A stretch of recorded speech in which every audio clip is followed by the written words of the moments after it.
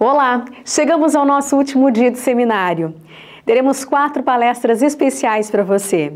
O objetivo principal deste seminário é divulgar a língua brasileira de sinais, promovendo conhecimento através de palestras com doutores, mestres e especialistas na área da Libras.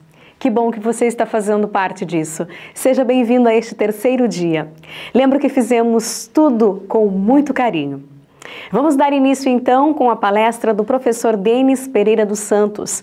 Possui graduação em pedagogia, especialista em formação de docentes para o ensino superior, especialista em Libras, com ênfase em tradução e interpretação pelo Centro Sul Brasileiro de Pesquisa e Extensão e pós-graduação.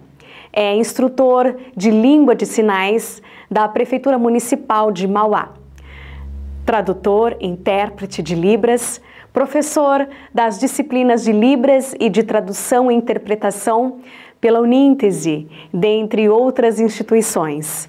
Ministra cursos, palestras e oficinas sobre o ensino da Libras. Tem experiência na área de educação, com ênfase em educação. Traz o tema o tradutor intérprete educacional na educação do surdo.